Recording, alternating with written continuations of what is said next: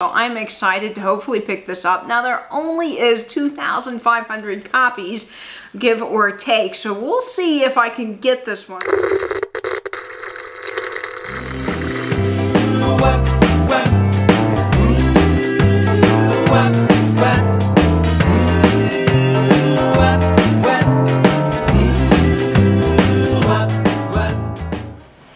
Guys, this is Katie with Vintage and Vinyl back with another great video for you today. And in this video, I got the list, the Record Store Day list. Yes, Record Store Day will be June 12th this year, and I am looking forward to going and hoping to pick up a few albums. Now, I will say the list was a little bit of a letdown. There weren't as many things on the list as I had hoped that I would want, as in years past, but that's okay. There's still a few albums I'm hoping to get, and I hope you guys out there get what you want for Record Store Day. I was a little puzzled going through the list. I was like, holy cow, there's a lot of picture discs, and there are indeed. Uh, you know, picture discs just don't sound that good, but as far as the collectability and the fact that they're a limited release and the picture's pretty cool, well, I guess a lot of people that collect picture discs will be pretty happy this year. I looked down the list, and I did notice some interesting interesting drops. I will highlight one that I'm not going to get, I don't think, but it is something that I might consider if I can't get the other two things that I'm looking for. One of the things that is dropping is Queen, but it is Queen Live and it's got Adam Lambert, so it's not Freddie Mercury on the recording, I think. So I'm not sure about that one. That one's a little iffy. And there's a few other drops I know people are really jonesing to get, but they're not really on my list. So let me share with you what I'm hoping to get this year at Record Store Day. Okay, so the first album I want, I am pretty excited about because this is Elton John, and I'm a huge Elton John fan, and this Elton John album was shelved. It was never before released on vinyl or released anywhere, so this is very exciting, and I really hope to get it. Now, there are about 7,000 copies, and I'm reading here the track list to you guys. This is the Regimental Sergeant Zippo album that was never released, and now it's finally being released on Island and Mercury label. It was set to be released in 1968, but nothing ever came of it. So here is the track list. Side one is When I Was Tealby Abbey, The Clock Goes Round, Sitting Doing Nothing, Turn to Me, Angel Tree, Regimental, Sergeant Zippo.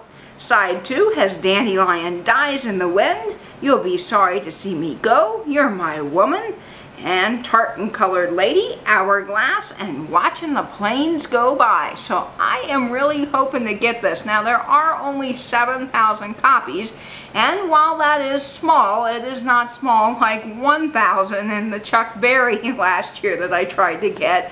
So I really do hope to get this. Uh, I don't know as far as record stores which one I'm going to yet because unfortunately the record store that I normally go to, Young, Loud, and Snotty, had to close permanently due to COVID. So I don't know where I'll be going or what's going to happen, but I'll definitely be coming at uh, a video, there'll be a video out about where I go and uh, what I find, of course, on Record Store Day. Probably live again on Instagram, and then I'll film a little something here for YouTube. So the next record that I hope to pick up is a fantastic record put out by the folks at Record Store Day. They do a release every year featuring some artists from the Sun catalog, and all the music is hand-picked by music lovers and record store owners across America.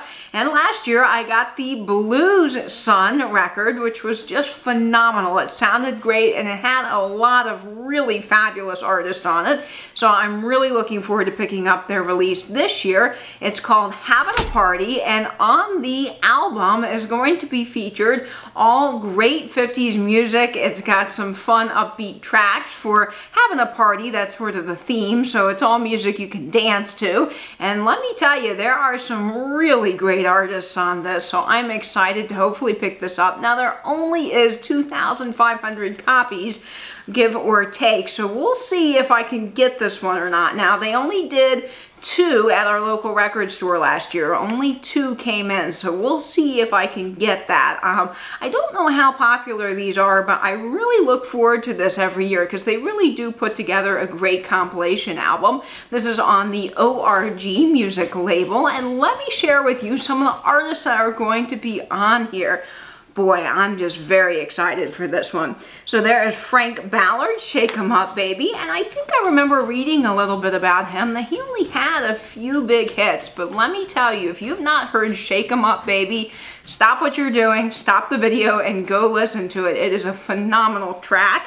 I'm also looking forward to Jerry Lee Lewis with Friday Nights on here, and there's Bright Lights, Motor City Funk 2, and Soul Suspects with Funky Drop. Oh, that's a great track. Carl Perkins, Drink It Up and Go Home. Alvin Robertson, Let the Good Times Roll.